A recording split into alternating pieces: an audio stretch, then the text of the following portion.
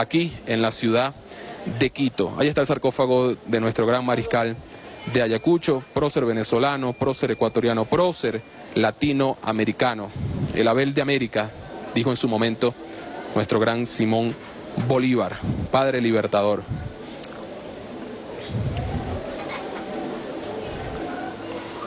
Bueno, allí continúan los honores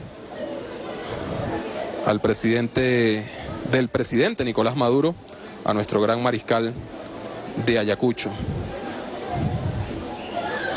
Forman parte de esta comitiva que ahora rinde honores al gran mariscal, el ministro de la Defensa de Venezuela, Vladimir Padrino López, la canciller de la República, Telsi Rodríguez, la primera combatiente, Cilia Flores.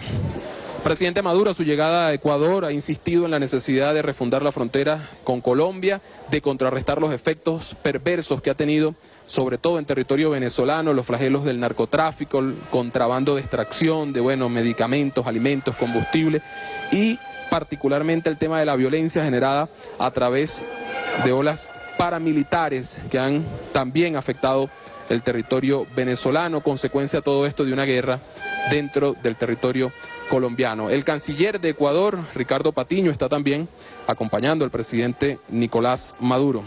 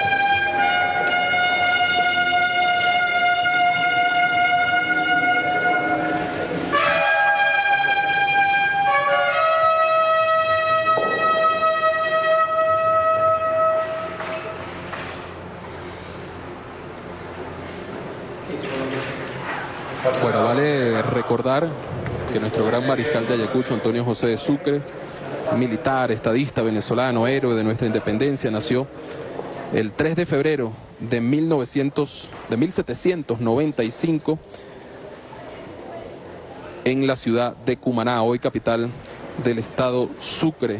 Murió asesinado vilmente en las montañas de Berruecos, cerca del Pasto, el 4 de junio de 1830.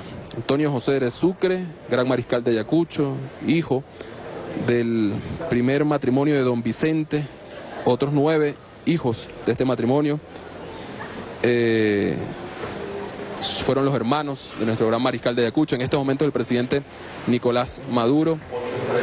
Bueno, eh, rinde honores al mariscal y también a nuestra bandera, la bandera de Venezuela. Allí se encuentran las banderas de los territorios a los cuales nuestro libertador Simón Bolívar y nuestros próceres dieron la independencia. El libertador Simón Bolívar ordenó al general Sucre